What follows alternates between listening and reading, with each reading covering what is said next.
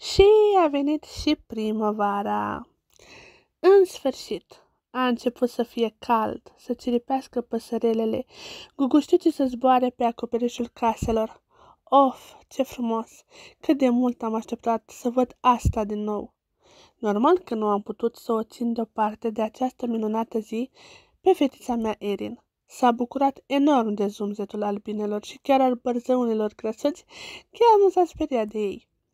Aerul cald și mătăsos îi mângâia obrăjorii și o îndemna să zburde cu elan pe sub pomii înfloriți, cu o vioicine de nedescris, fiindcă am mai dat jos din hăinuțele groase.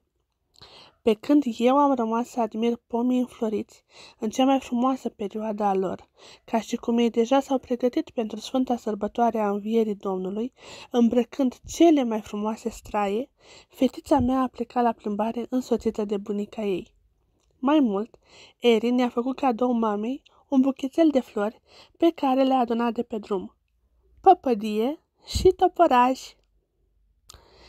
Ce poate fi mai frumos decât niște mânuțe de copil, ținând în mână niște floricele fragile, de-abia răsărite din pământul negru și umed?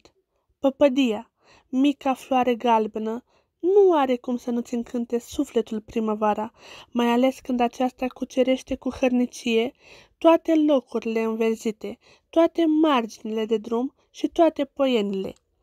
Iar toporașii, niște floricele delicate, care ne bucură mereu cu mirosul lor suav. Câte minunății a putut să lase Dumnezeu pe pământ!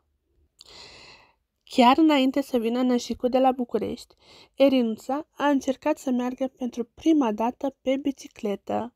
Nu prea s-a priceput ea de la început, dar, încet, încet, a început să-și miște piciorușele pe pedalele roz și, într-un final, a reușit să meargă cu bicicleta câțiva metri.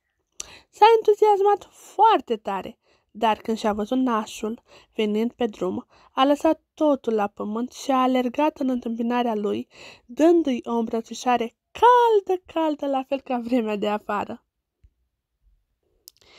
Primăvara e deja aici, copaci în floare, fluturași și albine, trezirea întregii naturi. Privește soarele, mici norișori de pe cer. Ce vreme splendidă! Ce zi! Pe curând!